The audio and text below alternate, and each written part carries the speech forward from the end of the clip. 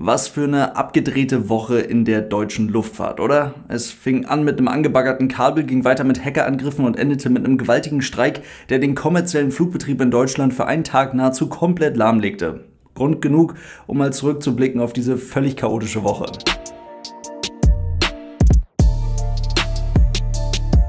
Und damit hallo und ganz herzlich willkommen. Ich hoffe, es geht euch gut, wünsche euch ein schönes Wochenende. Wie oft haben wir in den letzten Wochen und Monaten die Bezeichnung kritische Infrastruktur gehört? Und falls sich der ein oder andere von euch noch gar nicht so wirklich vorstellen kann, was damit eigentlich gemeint ist, der letzte Mittwoch war zumindest ein kleiner Ausblick darauf, was es bedeutet, wenn jemand davon spricht, dass der Schutz kritischer Infrastruktur gar nicht so einfach ist. Bei Arbeiten an einer Bahntrasse in Frankfurt, gar nicht mal in unmittelbarer Nähe des Frankfurter Flughafens, hatte ein Bagger dummerweise mehrere Glasfaserkabel der Telekom durchtrennt. Vier Stück sollen es insgesamt gewesen sein, die da kaputt gemacht wurden, zumindest laut Angaben der Telekom. Und es sind dann eben nicht so kleine, dünne Kabel, wie man sich das vielleicht vorstellt, sondern das sind ziemlich dicke Kabelstränge. Und wenn die kaputt gemacht werden, dann ist es völlig klar, dass irgendwo irgendetwas ausfällt.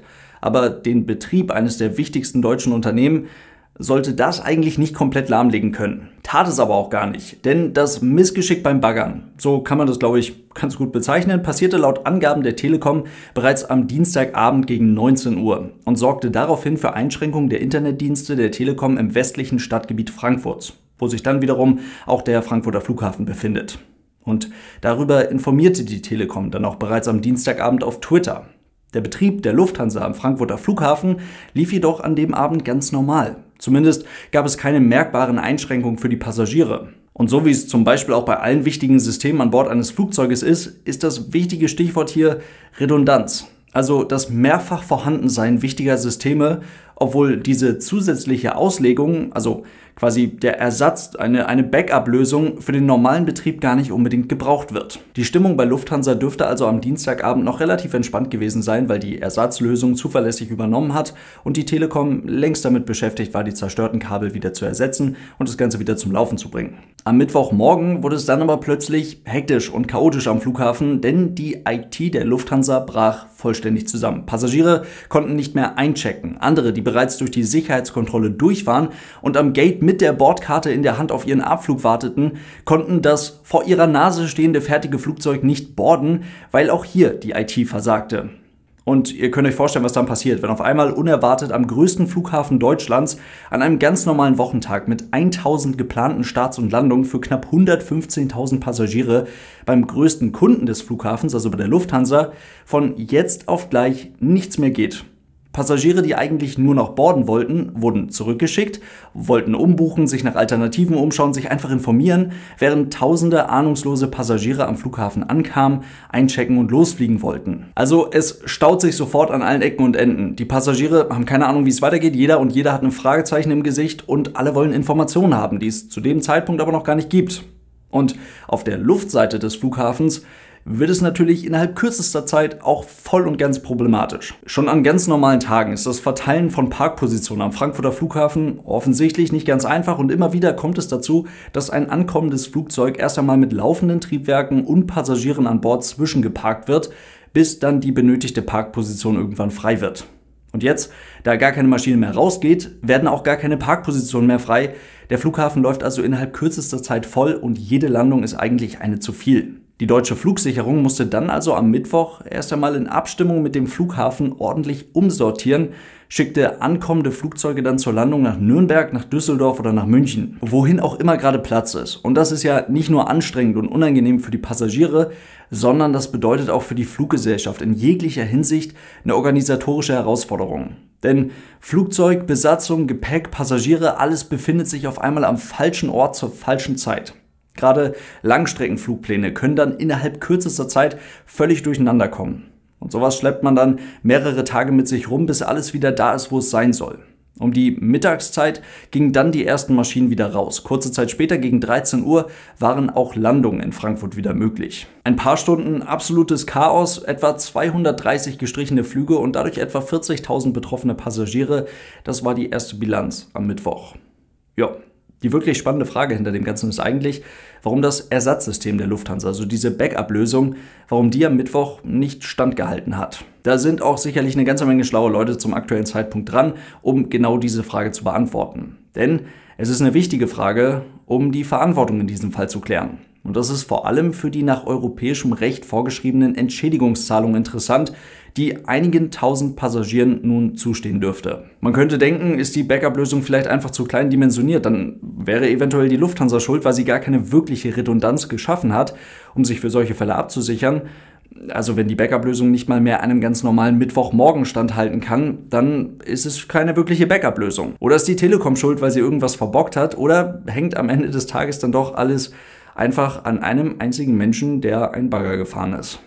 Hm. Aber alles, was mögliche Antworten auf diese Fragen angeht, wäre reine Spekulation und deswegen lassen wir das an der Stelle auch, hoffen ganz einfach auf eine baldige Antwort. Aber ein Bagger sollte nicht die größte deutsche Fluggesellschaft lahmlegen können. Ein Hackerangriff war es aber auf jeden Fall nicht. Ist aber nicht so, als hätte es das in den letzten Tagen nicht auch gegeben. An gleich mehreren deutschen Flughäfen, laut Angaben des Flughafenverbands ADV, waren es gleich sieben deutsche Flughäfen. Dort wurden durch sogenannte DDoS-Angriffe die Webseiten der Airports für teilweise mehrere Stunden lahmgelegt. Das hatte zwar keine sicherheitsrelevanten Auswirkungen auf den Flugbetrieb, beschäftigte den einen oder anderen Flughafen aber sicherlich eine ganze Weile. Zu solchen Angriffen kam es in jüngster Vergangenheit immer mal wieder. Auch der Hamburger Flughafen hatte gerade erst vor wenigen Tagen davon berichtet. Pff, erstmal kein großes Sicherheitsrisiko, keine großen Auswirkungen auf den Flugbetrieb. Einfach nervig, weil man den Flughafen nicht online erreichen kann aber auch eine Sache, von der ich nicht sonderlich viel Ahnung habe. Deswegen freue ich mich da sehr auf eure Kommentare zu diesem Thema. Während alle Beteiligten von allen möglichen Fluggesellschaften, von den Flughäfen und so weiter diese Woche also schon etwas mehr zu tun hatten, kam dann der Verdi-Streik am Freitag eigentlich nur noch als richtig dicke Kirsche obendrauf. Stichwort Tarifstreit im öffentlichen Dienst, bei den Beschäftigten der Luftsicherheit und bei den Bodenverkehrsdiensten. Also eigentlich bei allen möglichen Leuten, die man für den Betrieb an einem Flughafen benötigt. Frankfurt, Hamburg, Stuttgart, München, Dortmund, Hannover und Bremen waren damit am Freitag für den kommerziellen Flugverkehr faktisch völlig dicht. Also der reguläre Passagierverkehr wurde komplett eingestellt. Das bedeutet weitere gut 2300 Flugausfälle und fast 300.000 betroffene Passagiere. Hier besteht zwar an der Stelle dann kein Anspruch auf die vorhin angesprochenen Entschädigungszahlungen für die Passagiere. Für diesen Streik können die Fluggesellschaften ja nichts, aber sie müssen sich um Alternativen kümmern.